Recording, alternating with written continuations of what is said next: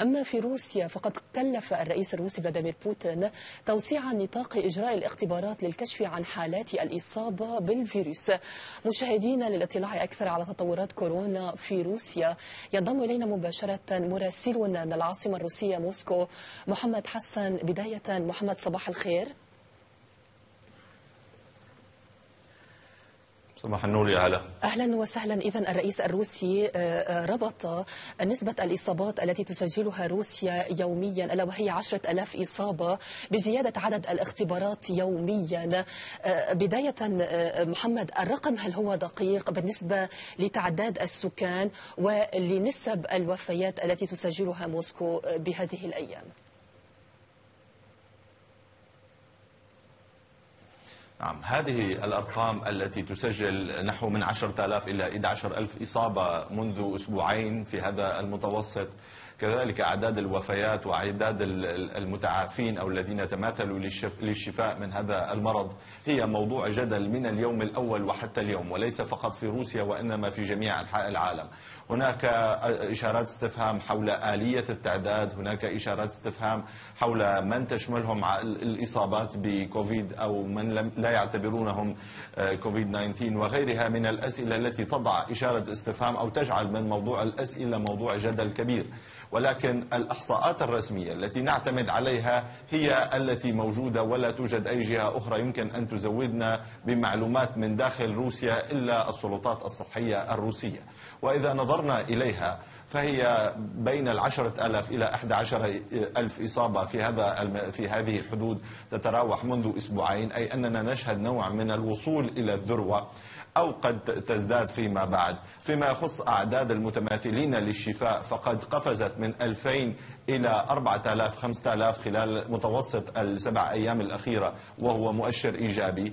أما عدد الوفيات وهو أيضا يطرح عليه سؤال كبير لأنه منخفض بشكل كبير عن سائر أرجاء العالم. لم تتجاوز أعداد الوفيات ال 110 وفاة في اليوم الواحد خلال طول فترة انتشار فيروس كورونا في روسيا 100 وفاة مقابل 10 ألاف إصابة فهذا المؤشر إن صح فعلا فهو كبير للغاية. فيما يخص المنددين طبعا أو المنتقدين لهذا الرقم فيعتبرون أن أن العدد أو يقولون أن هناك وفيات كثيرة تسجل لأنها التهاب بالرئة ولكنها ليست كورونا وعليه فقد يكون العدد أكبر بكثير فعلا. ويقولون أن الإصابات هناك العدد أكبر بكثير من عشرة آلاف ولكن الفحوصات لا تشملهم رغم أن روسيا تقوم بإجراء أكثر من 200 ألف فحص يوميا.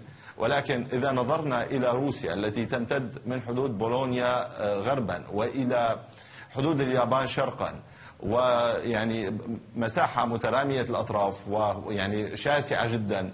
ربما يكون 225 ألف فحص ليس كافيا وعليه يعني كلف الرئيس الروسي بإجراء المزيد من الفحوصات كي يتم الكشف عن حالات إضافية. هكذا يبدو المشهد بالنسبة للأرقام وطبعا دائما هو موضوع جدل بين من يصدق بهذه الأرقام ويؤمن بها ويستند إليها ومن يعتبرها خاطئة أو لا تظهر الوضع كما هو فعلا. وطبعا وسائل التواصل نعم. الاجتماعي دائما تنقل يعني يصعب أن أن تقوم السلطات بإخفاء عدد الوفيات بشكل كبير. ولكن هذا طبعا ممكن الإحصائيات دائما كانت محل جدل. في روسيا وفي كل دول العالم. كما ذكرتم للتو محمد إنه بالنسبة لنسبة الوفيات الأطباء الروس يتساءلون إن كان مريض كوفيد 19 ماذا بسبب أزمة قلبية؟ هل يعتبر مات بالفيروس أو بسبب مضاعفات قلبية أخرى؟ اذا صحيه المت بمريض كوفيد 19 محمد انطلاقا من ذلك يعني كما نرى بالصور التي تريدنا من خلفكم من العاصمه الروسية حركة السيل لا بأس بها. هذا مع القرار الذي أقره الرئيس الروسي فلاديمير بوتين بأن أكثر بأن أن ملايين العمال عادوا إلى المصانع ومواقع البلاد في مختلف أنحاء البلاد اعتبارا من يوم الاثنين وانتهت إقفال العام لمدة ستة أسابيع الذي أقره الرئيس الروسي لاحتواء وباء كورونا هل الخطوة أتت اعتمادا على الأرقام الطبية أو الأرقام الاقتصادية بالنسبة للبلاد؟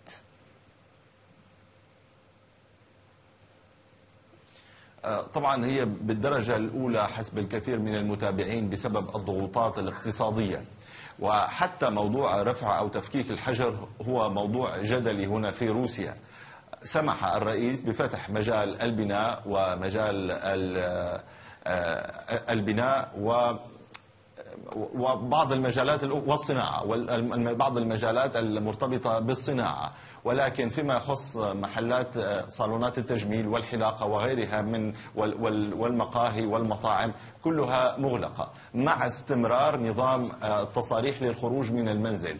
أي من لا يعمل في أي مصنع أو في أي ورشة بناء فلا يسمح له الخروج حتى الواحد والثلاثين من الشهر الجاري حتى نهاية هذا الشهر. بالإضافة إلى ذلك منع يعني يمنع منعا باتا. كل من هو أكبر من 65 عام من الخروج من المنزل. لذلك هناك جدل حتى في الشارع الروسي. هل رفع الحجر الصحي أم هو مستمر؟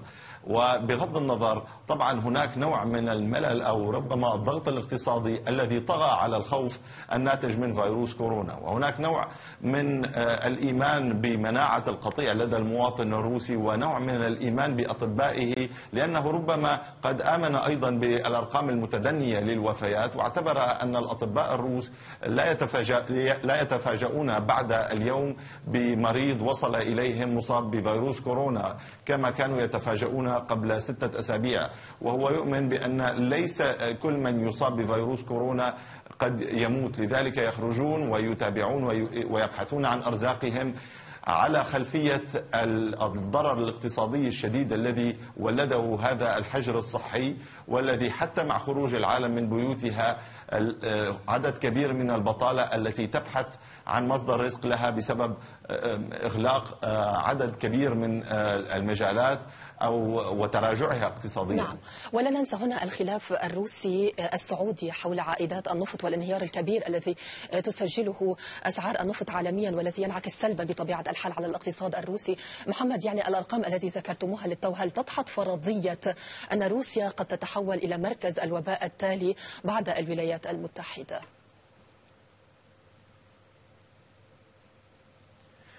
إذا نظرنا إلى أعداد الإصابات هي قريبة حسب الكثير من المصادر لأن تكون في المرتبة الثانية بعد الولايات المتحدة. إذا نظرنا إلى عدد الوفيات فهي بعيدة كل البعد عن الولايات المتحدة.